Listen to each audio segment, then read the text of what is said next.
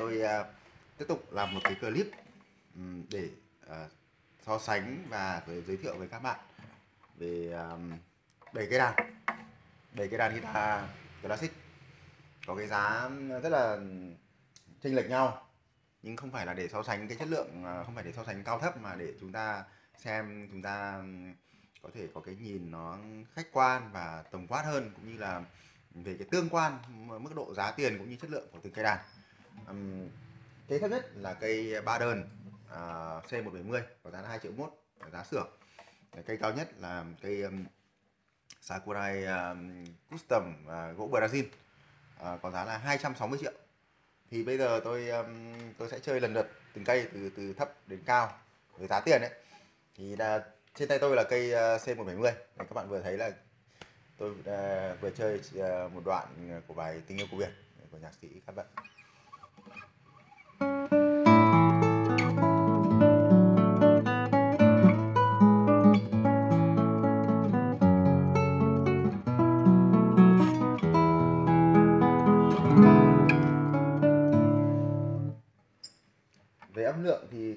không quá là là ấn tượng. Nhưng mà có một cái ưu điểm đó là rất là dễ chơi, rất là dễ bấm và tiếng khá là cân bằng.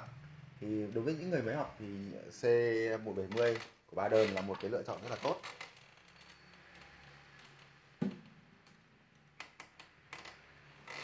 Bây giờ tôi sẽ chuyển sang cây à, C C70 có giá là khoảng 3 triệu rưỡi 3 triệu 6 3 triệu 7 tùy theo từng cửa hàng. Giá của hãng tôi không nhớ không nhầm thì là đang là 3 triệu 6 cây là ờ, C70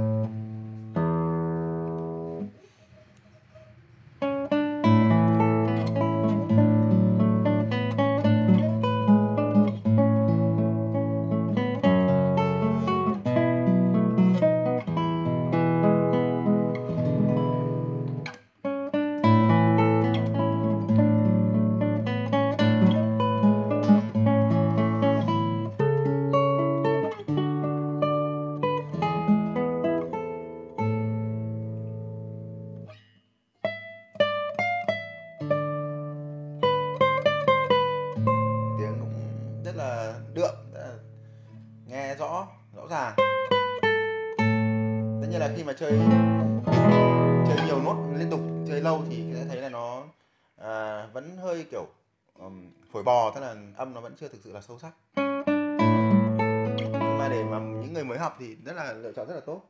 Vì âm thanh rất là rõ đánh rất là rõ nghe ờ, dễ, dễ chơi. Tất nhiên là những cây đàn mà nó thực sự hay càng hay thì âm thanh nó sẽ càng tĩnh và cái độ nét nó sẽ càng nhiều. Nhưng mà đúng là ba đời hay Yamaha thì cũng đều là những cái lựa chọn rất là tốt cho những người mới bắt đầu học đàn. Bây giờ tôi sẽ cao hơn một chút ở cái dòng phổ thông. Đó là cây đàn Martinet ES10 đây là một dòng đàn thiết kế theo cái mẫu đàn ờ, mẫu uh, âm thanh của Tây Ban Nha. Mà Martinet họ cũng mới sản xuất vài năm nay gần đây. Cái đàn này có giá mới tinh là 9 triệu. Kèm theo những cái phụ kiện nữa cũng rất là hấp dẫn.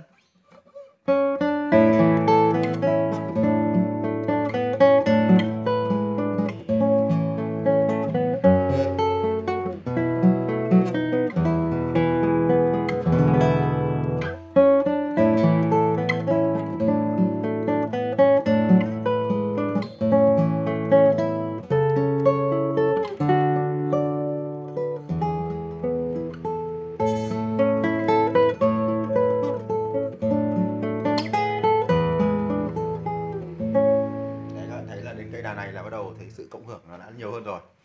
Những cái nốt trầm sâu và đầy rộng hơn cảm giác cái âm thanh ừ, cái âm vực của nó cảm giác à, tức là cái cái độ rộng rãi của nó âm thanh nó rộng hơn nó nhiều hơn. Cái cảm giác nó nhiều hơn. Và khi chơi thì tất nhiên sẽ đạt cái cảm xúc tốt hơn. Bây giờ thì um, tôi sẽ chuyển sang cây đàn thứ tư. Cây đàn uh, giá tiền thì rất là đắt rồi. Thực ra là cây uh, tư và cây năm. Cây thứ tư và cây thứ năm là à, còn một cây nữa là cây nào nhỉ? Cây uh, à, à thế chết nhầm. Lấy hộ thầy cái cây um, Kodaira à, trước khi sang cây à, cây uh, Hanika thì tôi chuyển tiếp sang một cây đàn Nhật nữa. Một cây đàn cũng là mới tinh. Cây đàn uh, Kodaira AST 150 của Sprut cái đàn này có giá là 25 triệu đàn đập hộp. Ở Việt Nam thì rất quen thuộc với các cây đàn Kodaira bởi cái chất âm của Kodaira khá là trong trẻo ở trong cái mức độ tiền phổ thông. Đây là đàn mới tinh. Đấy, âm thanh. Các bạn sẽ cảm nhận sẽ thấy được à, những cái đàn mới nó cũng có những cái ưu điểm rất là tuyệt vời.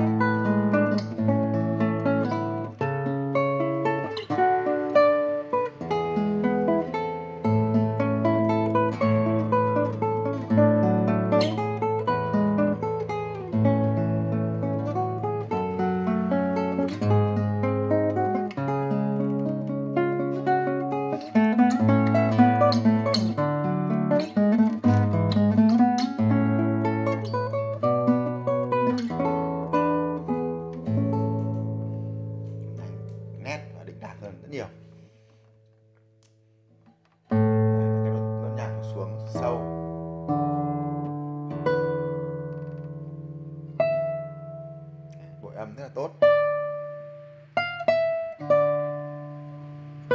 Khi mà chúng ta nghe một cái đàn này chúng ta phải nghe cái âm đuôi của nó. Khi mà âm nó ngắt thì chúng ta sẽ nghe những cái dư vị của nó. Vì à, khi mà các bạn chơi liên, liên tục liên tục các nốt nó chồng lên nhau thì những cái dư vị này nó sẽ còn nó động lại. Cái đàn mà nó càng nhiều dư vị càng nhiều dư âm thì nó sẽ lại tiếp tục tác động vào não của chúng ta. Đây là cái này là tôi học không phải là có ai dạy mà là học từ những cây đàn rất là xịn à, những cây đàn tốt như kiểu Fleta hay là Daniel Veric Romalinot là những cây đàn đã dạy cho tôi những cái cách nghe.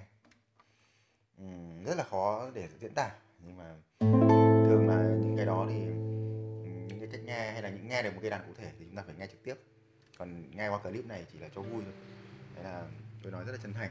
Ok bây giờ tôi sẽ chuyển sang cây đàn uh, tiếp theo cây đàn thứ năm cây đàn Hanika 58 cây đàn này uh, đối với tôi thì nó khá, khá là quý ờ, đối với cá nhân tôi nó khá là nhiều những cái kỷ niệm vì là tôi uh, giữ cây đàn này uh, lâu vài năm rồi. Luôn luôn để ở nhà thì uh, nó là một cái giống như một cái dấu ấn uh, khi mà tôi bắt đầu làm cho hãng Hanika cách đây uh, gần 5 năm. Đấy, tôi mua cái đàn này từ khi đó. Cái bộ gỗ lưng như là lửa rất là đẹp. Coco thế đàn này bây giờ cũng không sản xuất nữa. Cái dòng dòng Cocobolo này từ khi các bạn phải đặt họ không làm nhiều nữa. Cái đàn này là 58 và uh, cái giá của một cái đàn này hồi đó nó là 3.000 euro.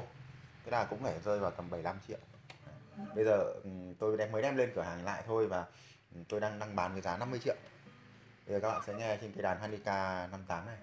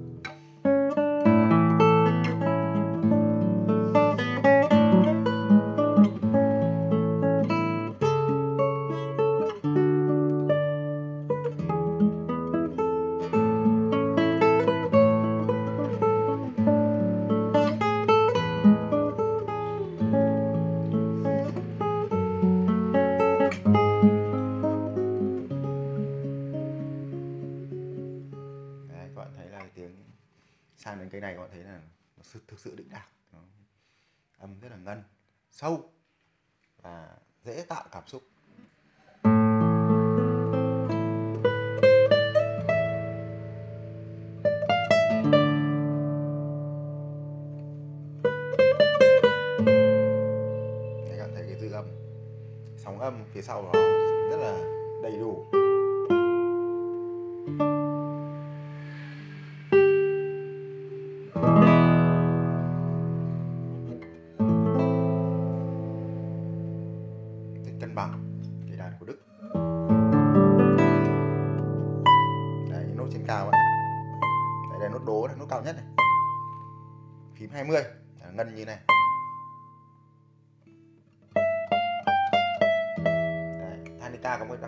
Nốt lên càng cao thì càng ngân.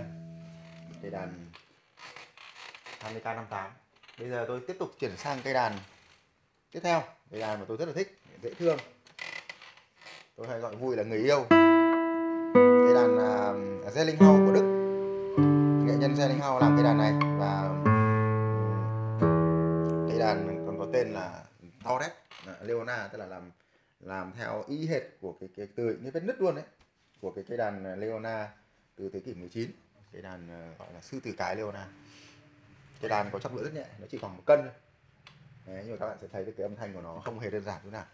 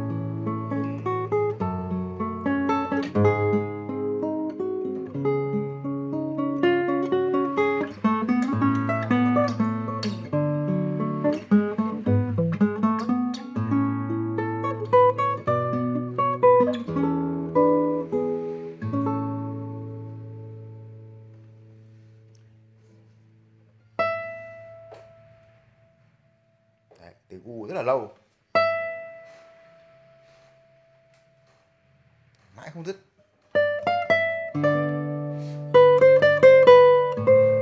Cái tiếng của đàn Leona Torres ấy, có một cái đặc đặc điểm rất là rất là là là, là lạ là âm thanh nghe cứ xa gần xa gần xa vắng cảm giác có một cái tạo một cái cảm giác trông tranh rất là tình cảm.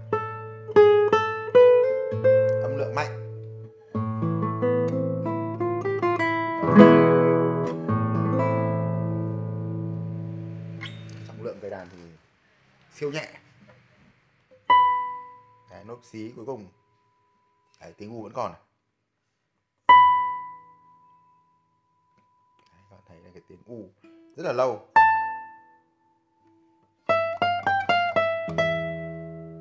thường thường thì Leona sử dụng dây carbon nhà. hôm nay tôi thí nghiệm dùng dây nóc lốc và ni lông và cái hiệu ứng cũng rất là tốt để tôi làm cho cái độ thử xem là nó dày hơn và nó mạnh vẫn mạnh như thế không thì thực sự là vẫn rất ấn tượng. Cái đàn này có giá nếu mà các bạn mua ở nước ngoài là có giá 3.000 euro thậm chí là hơn. Đấy, ở Việt Nam thì tôi đang bán với giá là 65 triệu. Bây giờ tôi sẽ sang cây đàn cuối cùng. Đấy là nói vui là rắn chúa đấy rắn chúa của ngày hôm nay. Cây đàn à, tôi đã đặt làm một năm. Tôi gọi vui là đây là cây đàn con quạ vì là chính nghệ nhân Sakurai đã nói với tôi là đây là một con quạ thực sự.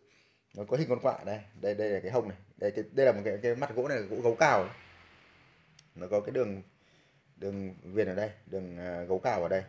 Bên này nữa là hông của con quạ này. hai bên người của nó đây. Đây là hai cái mắt của con quạ này cái đầu Đấy, thành đúng hình con quạ. À, cây đàn này có giá là um, nếu mà à, thực ra cái cây này trên thế giới bây giờ chỉ khoảng tầm 15 20 cây là cùng thôi và trong đó có nghệ sĩ huyền thoại Fukura là đang sử dụng một cây. Nó gọi là cây à, Sakurai à, RF à, Custom. Sử dụng cái bộ gỗ Brazil. Đấy, sử dụng một bộ gỗ Brazil. Cái đàn này rất là khó có thể mua được. Và khi mà các bạn đặt thì phải mất khoảng 18 tháng để hoàn thiện một cây. Sử dụng cái đầu của cây đàn Kono Macho. Đấy. và sử, dụng cái lối RF nâng cần. Như là cái cái cung sẵn sẵn sàng bật lên này. Đấy, thì chơi đây rất là dễ rất là nảy và trong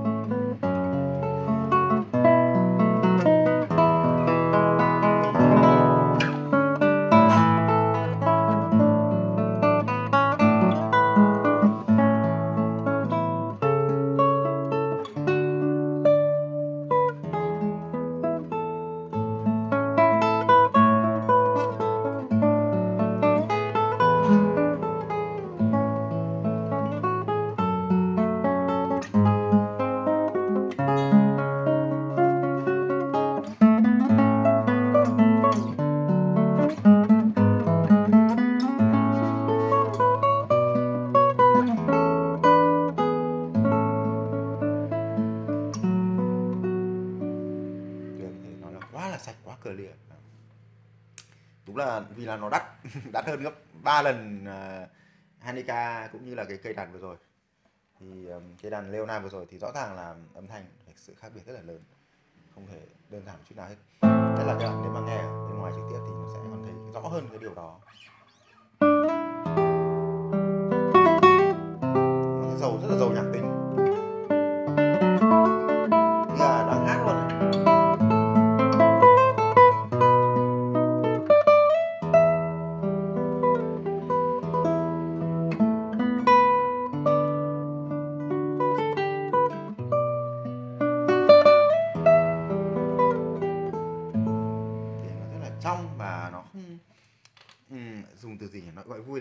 Cái sự đánh đá ở trong đấy. Tiếng nó rất là điềm đạm rất là điềm tĩnh. À, cái cái cái nhạc tính nó nhiều. Ngân ngân rất là đầy đủ không bị ngắt tiếng.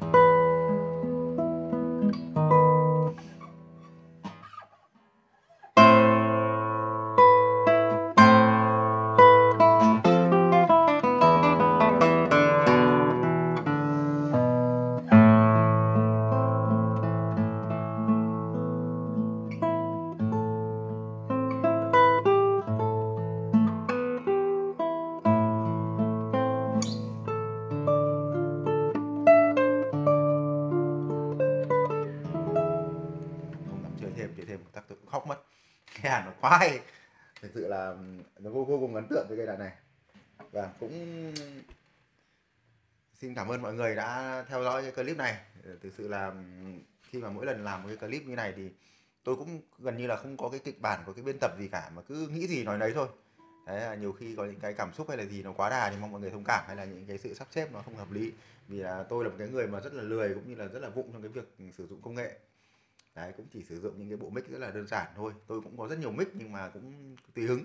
Đấy hôm nay thì tôi sử dụng cái mic um, um, mic uh, một cái mic rất là bình thường vài triệu thôi và dùng máy Samsung. Có những hôm thì tôi à, cầu kỳ hơn tôi dùng những cái mic uh, Neumann K184 đấy, tôi là có có bốn bốn cái mic đấy. Thì tôi để ở nhà và để ở đây thì cứ lúc nào tiện thì dùng nhưng mà phải có học sinh của tôi lắp cho tôi tôi mới dùng được. Đấy, đôi khi thì tôi dùng mic của iPhone à, mic trong hoặc mic ngoài của iPhone. Đấy, rất là và một vài những cái mic phụ kiện khác nữa thì mọi người hay hỏi tôi là dùng mic gì? Thì đấy thì là thực sự là tôi không cố định cái mic nào cả. À, tôi hứng lên thì nó là tôi dùng như thế. Nếu mà có học sinh của tôi thì sẽ sẽ sẽ sẽ sử dụng cầu kỳ hơn máy ảnh hay là máy quay thì nó sẽ đẹp hơn. Ok à, hôm nay tôi xin kết thúc cái clip ở đây và xin uh, tạm biệt mọi người.